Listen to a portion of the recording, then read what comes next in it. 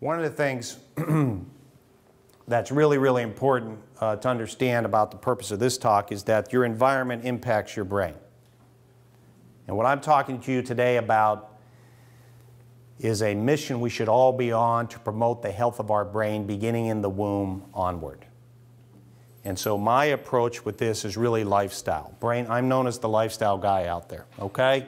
And there's kind of five components to the lifestyle I've put together, and this is nothing new to you guys.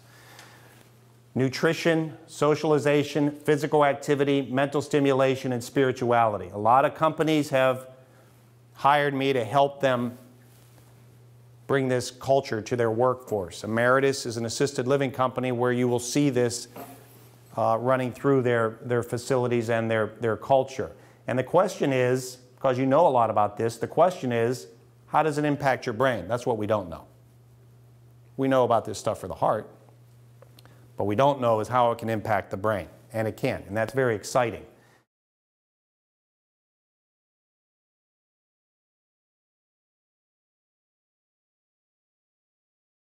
At your next happy hour, okay, now we're not picking on you. This is usually where people start looking down thinking, oh, dear God, he knows. Um, let's, pick on your, let's pick on your friends, okay? Or pick on me. The next happy hour, Dr. Nussbaum, you invite me, I'll go to happy hour with you. We're standing there, you know, you're looking for Mr. Right and Mrs. Right, and I'm just watching you.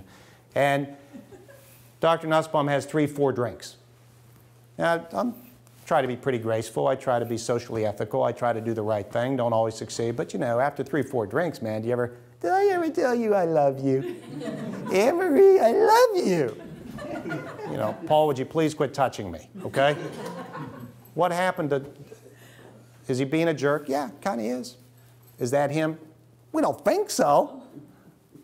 But the alcohol went into the frontal lobe, and what your frontal lobe does for you guys right now, basically, is it's telling you, for God's sake, don't stand up on the table, disrobe, and yell vulgarities.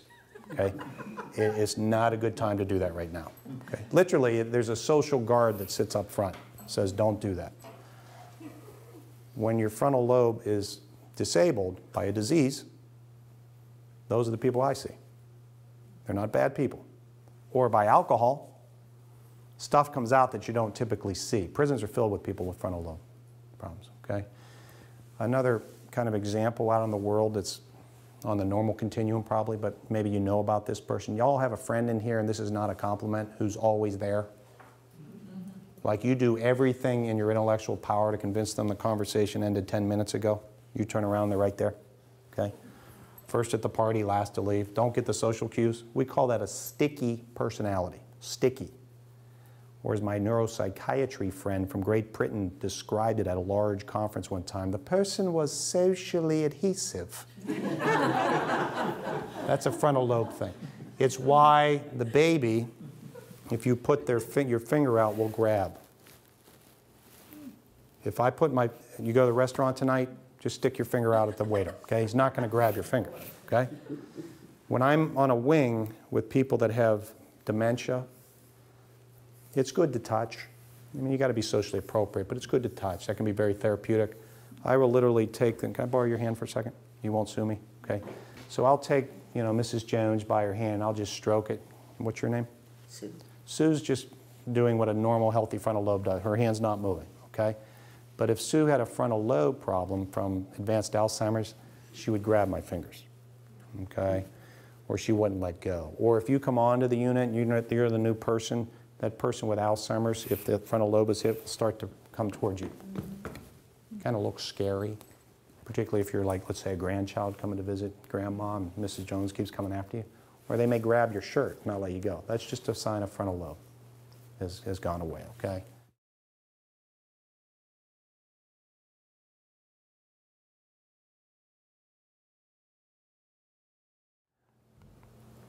Everybody say this, hippocampus. This is a deep structure inside your temporal lobe. I think it's the most important part of your body where you learn new information. This lays down your life story. This is where you generate new brain cells. This is where stress affects you structurally and functionally in the brain. If you're under chronic stress, I see patients who have been attacked, victimized, traumatized. I see veterans with PTSD. They have memory problems. That's why, okay? The good news is we can heal from that, but we got to work at that. There's not a pill to get you through that. This is also part of the brain that gets hit very early in Alzheimer's. Very early in Alzheimer's, what problems do we see? Person has what kind of problems? Memory problems, short term, that's right. Because this is where you learn new information. Doctor, he's driving me crazy. He can't remember that he had breakfast five minutes ago, and I don't understand how he can tell me who his second grade band teacher was.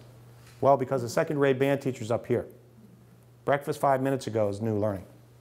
That's why there's no new learning. Okay? No new learning. Okay, with Alzheimer's. That's, that's, that's difficult. So they do what a lot? Repeat. And you're the caregiver, what are you going to have to do? Repeat. And that's where a caregiver begins to wear out. All right? That's why. Now, quickly, I'm getting a lot of patients coming in to see me in their 50s who think they have Alzheimer's. It's interesting to me. It's gotten so bad that I've gone to Kinko's and I've blown this thing up. So if you come into my office, you'll see this sitting in the corner. Okay, so a person comes in to see me and say, you know, I'm scared. I think I have Alzheimer's. Why do you think I have Alzheimer's? Because I have memory problems. I said, sit down. I don't do anything else. Sit down. I go get my little billboard. I bring it over, put it there. I said, number one, you don't have Alzheimer's. I'm not going to do any testing or anything. You don't have Alzheimer's. Why do I think you don't have Alzheimer's? Because yes, a 50 year old can have Alzheimer's, but it ain't you. Okay? Because statistically, it's just not going to happen. Okay? I understand you've seen them, but 300 million Americans, not going to happen that much. Okay? So I tell them to sit down. So what I say to the person is, um, I'm going to take you through a little education here in my office. I understand it's not why you came to see me, but this is what you need to know because you're telling me you have memory problems. The brain had a wonderful thing happen to it many, many millions of years ago. Okay? We were being chased by saber-toothed tigers. And we had to evolve, and the fact that we did this tells us we're here today. Otherwise, we were going to be the happy meal. Okay? And what the brain did was it developed this part of it to set an alarm off. Warning, warning, warning, warning, danger, danger, danger. Run or fight. And what happens in this wonderful part of you called the amygdala, which is the next door neighbor of the hippocampus. Hippocampus learns new information. The amygdala is the next door neighbor, a little bit bigger in men than in women. It gets set off. Warning, warning, warning. Norepinephrine's flooding your brain. Adrenaline's flooding your body. Your heart's pumping very fast. Your lungs expand, you need oxygen. Your biceps are getting bigger because you need to fight. Your digestive tract stops. You don't need to eat. Your reproductive system stops. You don't need to have sex right now. You don't need to have a baby right now. I'm about to be eaten. Okay? Wonderful thing helped us survive. Today, we don't have any saber-toothed tigers chasing us.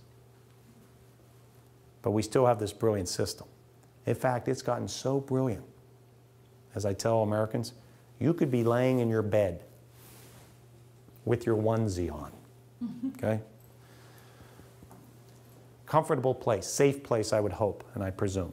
Looking up at your ceiling. It's early in the morning, and you're thinking to yourself, this is what I have to do today. And you come upon that synaptic event that tells you at 10:30 you have to go to a meeting with that SOB, Dr. Nussbaum, and suddenly in your nice safe bed in your onesies, your amygdala just starts to fire. Your heart's pounding in your bed based on a thought. That's how sophisticated it is. When the amygdala fires, your hippocampus shuts off. So, my question to the person who came to see me is my question I have for you, and it's rhetorical. Think about it. What's your saber-toothed tiger? Tell me about your saber-toothed tigers in life. What's chasing you? What are you afraid of? I have them. You do too. Some people get defensive. Oh, I don't have any of that. Okay, let's try it another way. Tell me about your sleep. How's your irritable bowel syndrome? Any ulcers, migraine headaches, relationship issues? That's another way of the body telling you, I'm not in balance. And when the amygdala fires, you lose balance. And so in my life, when my amygdala fires, and it does, and I get out of balance, I literally self talk now, settling my amygdala down telling myself there's no saber-toothed tiger here. Because you can actually, now that you see this, you can actually work with this. This really helps people. Okay, it's not just saying I'm stressed. That's not good enough. We all know what that means, but this gives you a tangible thing to work on, okay? But it requires you being conscious of it. Most of the time, you're not conscious of what is stressing you out.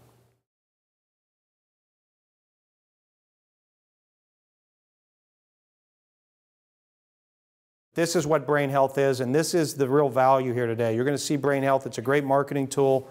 It's a great thing everybody wants to write about in the media. We don't explain it well enough, okay? I'm going to explain it to you right now. I've already told you it happens up in the cortex. At the cellular level, you have trillions of brain cells, friends, and they can connect with about 7 to 10,000 other brain cells. Do we know that for sure? Absolutely not. But you know, when you do the math, what I just said to you, the number you come up with is greater than the number of atoms in the universe. You all understand what we're talking about here? Okay? You all have a core to your body. Well, each brain cell has a core. Coming out of the core, you have a long arm called an axon. Everyone say that. Okay, that's a, a part of the brain cell that takes information away from the core out into the world trying to communicate with other brain cells, okay? It's insulated by the fat that green stuff up there called the myelin sheath. Physical activity and eating proper fats help to build a robust myelin sheath that insulates the nerve tract. Without it, you slow down. Information, motor skill slows down. MS is an example. Brain cells get very close. They have a chemical marriage. They never touch each other. That's called a synapse. That's how you think, move, and emote. That's how it works. Coming into the brain cell, you have this part of your brain cell called a dendrite. Everyone say dendrite. Kind of like branches of a tree. Fingers on a hand, right? When you plop your brain down into an environment, it does not have a choice. It reacts. It's reacting right now. If the environment is novel and complex, it's good for the brain. It's not rote and passive. Novel and complex, your brain cells react by developing more dendrites. Okay? And if you do that across your lifespan, you build up a brain that looks very much like what I call a jungle. You want your brain to look like a jungle. And here's why, and I'm not trying to be funny right now. If you think of Alzheimer's disease like a weed whacker, imagine taking a weed whacker into a jungle. How long is it going to take you to show any kind of impact? Versus maybe just one palm tree on a Caribbean island. Today, at autopsy, there's about 30% of brains well diagnosed with Alzheimer's, the disease is there. At death, we see it, it's there. 30% of those brains never manifested memory problems. They remain very independent. We don't know how that can be, to be quite honest with you, but one of the things is we found in those patients that were able to fight it off, even though it was there, their brains kind of look like jungles because they had lifestyles that were very novel and complex, very enriched. We call this defense mechanism brain resilience. Everyone say that. My book and my work and the culture of brain health I'm talking about, making your home a brain health area, your school, your work setting, is really about building brain resilience. Okay, that's what it's about. That's the journey we need to be on, beginning in the womb. And after that, it's never too late or too early to begin because here's the secret your brain doesn't know how old you are, and it doesn't care. All that stuff is just stuff we've made up. Hallmark knows it, right? But otherwise, it's really, it just wants to be stimulated, okay? We know people with higher levels of education, people with more sophisticated occupations tend to have a lower risk of Alzheimer's. That's because those are environments that build up brain resilience. I'm a big believer in environmental input in terms of things like forgiveness and love and patience and compassion being very good for the brain. Okay? The opposite of that is hostility, anger. You know, you can, you can keep filling in the blanks, right? That, that really are bad for the brain. Set off what? Anne Maria said earlier, the amygdala. Okay? So, in my practice, we talk about those things. Okay? All of those things. It's just not a diagnosis medication kind of thing. All right? All these things probably have much bigger impact on our lives and on our general well-being than, than those other things. So in the 50s, we learned if you placed a rat in an enriched environment where there were other rats, socialization, there was a running wheel, physical activity, and there were toys to play with, mental stimulation, compared to a rat raised in isolation, their brains were much better. The enriched environment led to a much healthier, robust brain. You remember my brain health lifestyle? Socialization, mental stimulation, physical activity. That's where it comes from. Now, I add two for the human brain nutrition and spirituality. The reason is we learned in 1998 that the human brain can generate new brain cells in the hippocampus. The same area we learned in the 1950s that rats were generating new brain cells, the hippocampus. It's very fascinating. It's not coincidental. So you get into this whole area of brain health and wellness because your brain has plasticity. It can be shaped. We're talking about it being shaped for health in a proactive way, thinking about what's novel and complex, and really thinking about yourself right now in terms of becoming integrated. You're fragmented animal, so am I. Most of the people walking out there and the people that you work with and even live with aren't even conscious of what we're talking about right now. That's how far away we are from all this. In order to work at this, you have to be conscious at it and to try to become integrated, okay? Very, very hard. So what does the research tell us in terms of socialization? I had a conversation earlier with somebody about their family member wasn't, was withdrawing, It's coming, not coming out of the room anymore. Socialization is good for the brain because it has that brain remain engaged with others. When the brain's engaged with others, there's a novel and complex environment. When it isolates, doesn't come out of the room, or withdraws from activities, you're using that subcortex, and the brain's now becoming rote and passive, and Alzheimer's disease now is a risk factor. So is loneliness. How many of you genuinely have ever asked your loved one if they're lonely? It's a weird question, let alone your peers at work or your residents. Anybody being admitted to any one of your buildings, you should ask that question right after age age, education. You should always ask about handedness. Ask them if they're lonely, because that predicts a brain that's emotionally isolated, increased risk for dementia. Okay? In 2007, we discovered that. We have to ask that question. We don't. Hobbies are very, very good because what it does is it helps build up their brain resilience. If somebody tells you I can do this, this, this, and this, versus somebody says, you know, I haven't done much of anything since that. Those are two different brains. Okay? Every year we have a wonderful laboratory for expression of psychopathology. It's called Thanksgiving Holiday. Okay? It brings out all the wonderful traits we have in our families, right? And by that I mean we have to really think about forgiveness and letting go of those things that are toxic and where you find the toxins in your life tend to be where the blood is. You can have toxins with friends as well, but it tends to be more family members. Um, so forgiveness becomes very, very powerful so that you're not carrying around those toxins of anger. It's hard for me. I work on that. I'm sure it's hard for you too. It's just part of being human, but we got to work at it, okay? And I don't believe in retirement the way it's currently positioned in our country, which is essentially a kind of a subtle message of go be passive. Doesn't mean people are. But the more important message is each and every day you got to wake up with a purpose in life. Now, a number of you guys are carrying these pins around that you got on your shirts. That may or may not be your mission in life. But if it ain't, you got to figure out what it is. Because if you don't get that, you're going to die prematurely. I know it'll say heart attack on the death certificate, but that ain't it. Now imagine me having this conversation with 17 year olds. Okay? What's your role and purpose in life? They're going to live forever, right? That's what they think. Unless you know something I don't, what do you want it to be said about you if today's it? And that, that basic question doesn't get asked. And you ain't going to find the answer in the HR office. Okay, so it's an interesting thing to think about yourself. Physical activity, because 25% of the blood goes to the brain. We've actually dosed this now. If you walk a mile a day briskly for six days a week, you reduce your risk of dementia. I've seen the slides that look at those that engage in aerobic exercise and physical activity and how the hippocampus changes in size. Direct relationship, okay? And we also know that kids that are engaged in physical activity, their scores are higher in school. And old people like me, who engage in physical activity, my risk of Alzheimer's disease declines. We know that now. Very interesting. Physical activity, very robust finding. Dance, very powerful brain health promoting exercise. In the classroom, I teach them when you're learning Shakespeare, dance. The classrooms should be set up with stationary bikes and treadmills. That's the way the brain wants it to be. We don't do it that way. And I, the kids all get a jazz, they get jazzed up when I say this. I'll say it to you. It's probably the only thing you remember from my talk today.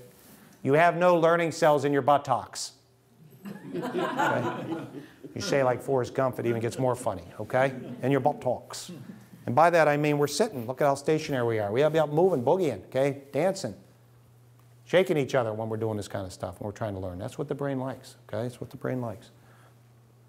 Mental stimulation. What's new and hard? Language development. Very good. Your baby, before that baby can speak orally, can learn 20 signs.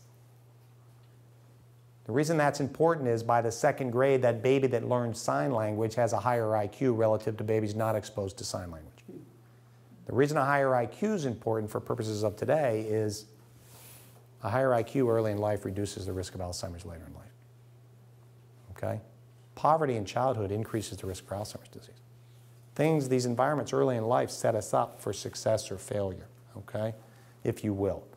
Board games, very, very good. Travel, we talked about. Everything that is really kind of novel and complex. I told you about FitBrains, which is an online brain fitness exercise program. Music, we talked about.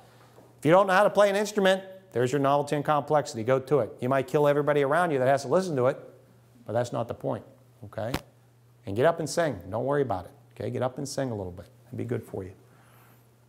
Spirituality, this really goes to putting in balance the amygdala with the analytic part of your brain. Your brain has two really wonderful parts. The cold front part of the brain, that's the parent.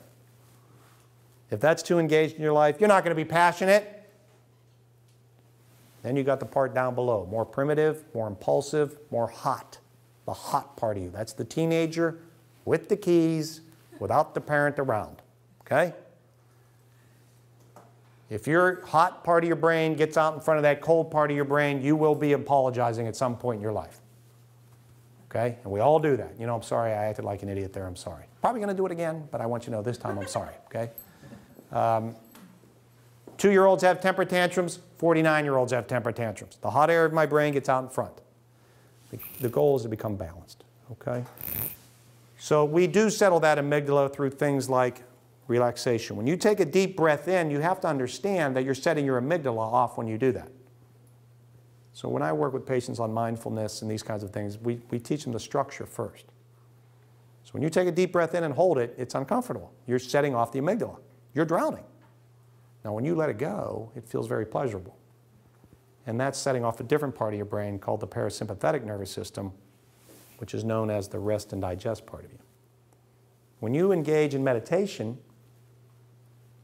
you're working on filtering out all that nonsense. You ever try to meditate or just close your eyes? You start thinking, yeah, this really feels good, this feels good, this really feels good. Let's see, I've got 3 o'clock appointment today. No, no, no, get back to this. Feels good, feels good. Okay, let's see. Did I buy the remote, the meatloaf for later today? No, no, no, don't think about that. Okay, think, okay, okay. Did you hear the car just going by, Paul? No, that's what's going on in your head. Interestingly, people that meditate or prayer, pray, they have self-talk. Do you have that? You ever do that? Is that the way you pray? Do you hear a voice? Not everybody does it. When you hear a voice, your frontal lobe's lighting up in the scanner. If you don't hear a voice and you just report, I'm taken over by a spirit, no voice, just taken over by a spirit, um, the frontal lobe shuts off in your brain. Both still end up in the same peaceful state. You ever hear him say something like, I was like one with my world? One with my world. The amygdala gets lined up with the front part of the brain. And that's peace. Unfortunately, sometimes we only experience that when there's crisis. 2001, you guys had that. Everything got locked in, hyper-focused. You were hyper-focused. You weren't worrying about everything else. We have to get there without crisis, okay? Prayer on a daily basis enhances the immune system. A child that eats one meal a day with the parents, more emotionally stable, more cognitively capable. Finally, nutrition.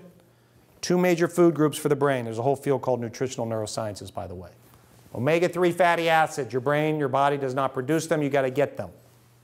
You get them through good fats. Omega-3s are good fats in the fish. We're supposed to be eating about eight ounces of fish per week. If you're not getting eight ounces of fish per week, you're not eating nuts, walnuts, and almonds, green leafy vegetables enough to get that amount of omega-3s, you have to think about a supplement. Uh, and there are many out there. Fish oil is not a a pure omega-3 it tends to be a large tablet. It has a lot of filler in it, fishy aftertaste. I'm one of these humans that's trying to eat more fish. I'm not where I just told you I need to be. So I take Moxxor, which is, an, is a supplement, Okay, very small tablet you can see there. There's information on my website if you're interested. Talk it over with your doctor. These supplements are not miracles, they're not cures. Don't believe anybody that tells you that. But omega 3s do help brain function at the cellular level, help with mood, help with memory, help with energy, help with attention deficit issues. Okay? Um, the other major food group, antioxidants. Fancy way of saying fruits and vegetables. As I teach it, it's kind of like the broom you take out in the spring to get rid of all the dust in your garage. In this case, the dust in your body are called free radicals. We all have them. Your body doesn't produce antioxidants. You got to eat six fistful servings of fruits and vegetables a day. The food has color, probably has an antioxidant in it. It's good, okay? Why grape, you've heard about red wine, like a glass a day. It's good for you. That's why it's the red grapes. If you don't like alcohol, grape juice is very good. You may have heard Larry King talking to you about the antioxidant power of grape juice, okay? That's why. Um, Little behavioral tip, if you just use utensils when you eat, you're going to eat healthier and you're going to eat less. It's kind of interesting. My generation uses their fingers to eat. And when we do that and we don't have utensils, check what you're eating. Be conscious of it. It's interesting. Let me conclude this way. Um, we talked today about becoming integrated um, as you go on your journey. Now, and you're going to get this book today. It's a good, it's a good, you know, I don't make you know, make pennies off this, so I feel com comfortable saying this to you. It's a good book for the family because, um, like the book you get, share it with a lot of family members, okay? You don't have to go buy another one, just share it with family members. And, and you'd be surprised your kids can get it. And if they can, I want to know because I'm not doing my job, okay? So I'm trying to communicate to teens up. Um, you know, as I said, I started this when I was 20, and, and you guys know what I'm talking about. When you're sitting across the table with somebody who has Alzheimer's disease and the child of that person is sitting next to you and he doesn't recognize her, that's one of those moments that sends a chill up your spine, you know? And you do that enough, and I still do this work like I know you do. You either, I don't know, I guess you either kind of give in because it's hard, uh, or you fight and, and as I told you, I act. I'm a, I, I act. Um, and this is what kind of led me to try to put something together that deals with that difficulty, that says, I want to get out there and speak to thousands of brains that don't have Alzheimer's. So attack the same animal, but do it from a different front. And to educate the general public about this miracle that sits between your ears so that you'll love it. It's you and that you begin to do some of the things we know are good for the brain. There's no cure, there's no prevention. We ain't perfect, okay? Alzheimer's disease is a lot of things. Medically, it's the presence of neuritic plaques, okay, neurofibrillary tangles, the presence of apolipoprotein. You with me? That's not the way most people talk, okay? My job is to communicate with mothers and dads across the dinner table. I understand you can get that, but that ain't the way most people talk. You know what Alzheimer's disease is for me? It's a brain that's lost access to its life story. You with me? It's a brain that's lost access to its life story. When you, when you get to that level, now you're down in the mud. Now you're dealing with the emotional stuff. The other stuff is so technical, so clinical, it's, it's a defense mechanism in some ways. So sitting next to each and every one of you in here today is an invisible bag. It's been with you your whole life. And in the invisible bag, on a daily basis, you're placing life experiences. You're doing it today. And you're building up your, your autobiography. I call it your life story. It's the most precious gift you have. And you have access to it today and we take it for granted. And if you go to your twilight, which may be today, or my twilight, which may be today, and you're going on, or I'm going on to a better place, there will be a little one in your life circle who's going to come up to you and take you by your hand and look you square in the eye and say, Share with me your life story. I want to know. And you know, in my experience, guys, in basements of five and hallways of thousands. If you notice, it just got really quiet. And this is what happens. What's just happened in here is you just personalized the message. It's personal right now. You're, you're, we've aligned the amygdala with the analytic part. It's about you right now. It's about bigger things in your name tag. It's about bigger things in Dr. Nussbaum or any company you work for. It's important stuff. And so what I've tried to share with you today is a pathway that says, hey, flash the light over here. Walk this way. It's not perfect. We hope for a cure for these things, but in the meantime, let's do what we know is good for our brain regardless. Think about what's novel and complex for you.